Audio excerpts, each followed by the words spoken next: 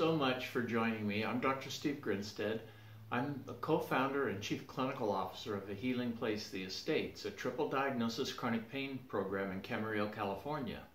This morning I had an opportunity to present in front of a number of treatment providers and when I got to this particular slide that talked about the solution is healing the whole person, they were very intrigued. They had never heard it put quite like this. So at a healing place, we believe in the four quadrants of improved levels of functioning.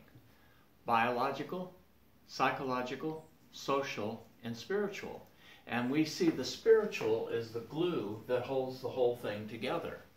So I wanted to just expound on that just a little bit because they were asking some great questions.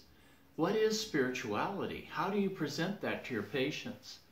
Well, there's a big difference between religion and spirituality, and that's where we start.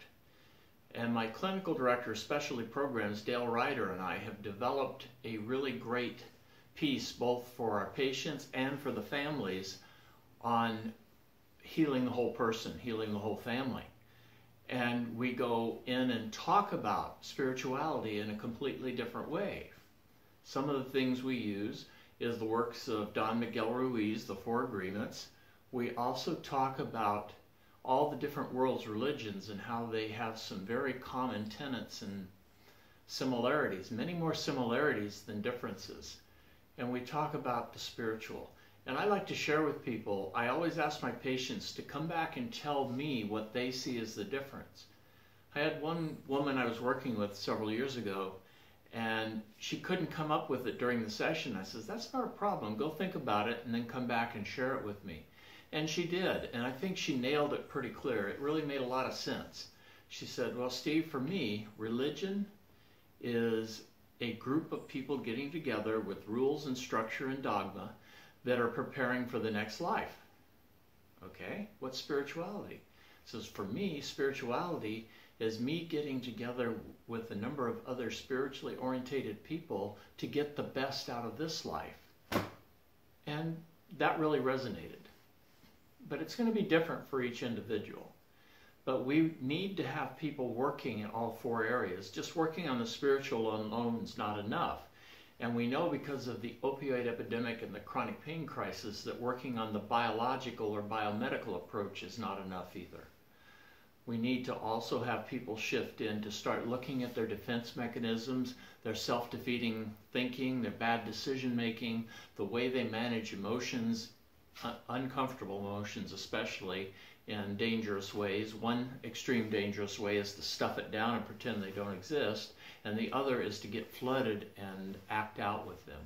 So we want to do a lot of emotional regulation training in our program and teach people how to let go of their inner saboteur or self-defeating thinking patterns. And then in the social area, this is the big one because many of the patients we get at a healing place have become very socially isolated from family, friends, and community. They've been living in a cave. They've been living in the bottom of a chronic pain pit or a chronic pain trance. Their family members oftentimes have become burned out.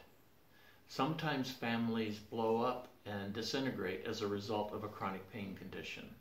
And this is for people that don't even have medication management issues. This is just for living with debilitating chronic pain 24-7. So we want to help people heal the whole person and the whole family system here at a healing place. If you want to learn more, there's some links below this to some interesting resources for you, and I'd encourage you to check it out. If you want to learn about our program, if you or someone you love is suffering with chronic pain, you can go to the link that talks about Steve Serafino, our admission coordinator, and our contact page.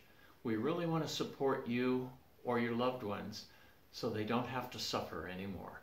I often promise people, if you're willing to do the work, you never have to suffer again. Doesn't mean you're not going to be in pain, but there's definitely a difference between pain and suffering. So again, thank you for joining me, and please check out the resources below this video.